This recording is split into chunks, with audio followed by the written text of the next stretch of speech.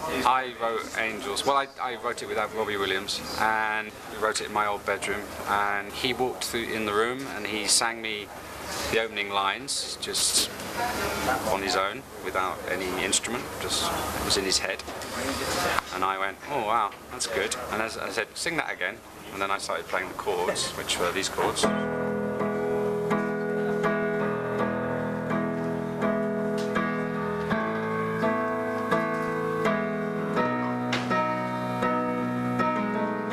Which are like the most obvious chords in the world, but um, I kind of thought it suited his melody. I wouldn't normally play those sort of chords, but particularly for that song it seemed right.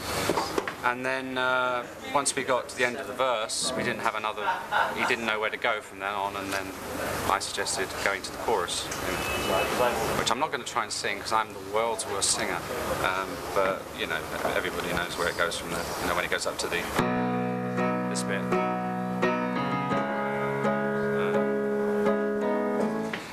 Kind of wrote itself, really. And the other great thing about that song is that it hasn't got a uh, bridge. Well, it has. It's an instrumental bridge. Uh, a guitar solo, you know.